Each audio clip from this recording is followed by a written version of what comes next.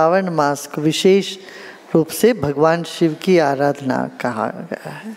हमारे पुराणों में कहते हैं कि अलंकार प्रियो विष्णु, अभिषेक प्रिय शिवा। भगवान विष्णु को सजाने में आनंद है। भगवान विष्णु सज दजे रहते हैं हमेशा, देखो तो। मगर शंकर जी अभिषेक से प्रसन्न होते हैं।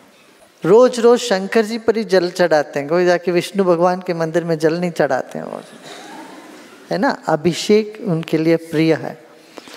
और शंकर जी कहाँ हैं? सिर्फ़ मंदिर में बैठे हैं क्या? नहीं। वो सारे संसार में शंकर जी है, प्रकृति में।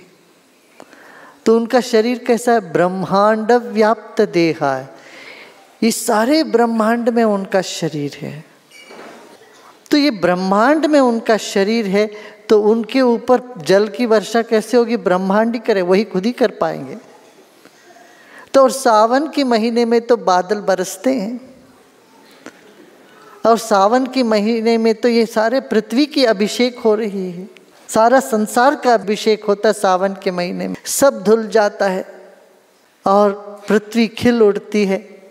ये भूमि उसका पाद है। और आकाश, नक्षत्र, माल सब उनके गले के हार हैं। जितने तारे हैं, वो ईश्वर शंकर जी के हार हैं। और शंकर जी खुद अभिषेक कर रहे हैं, मैंने खुद उसी सावन के महीने में बादल बरसते हैं।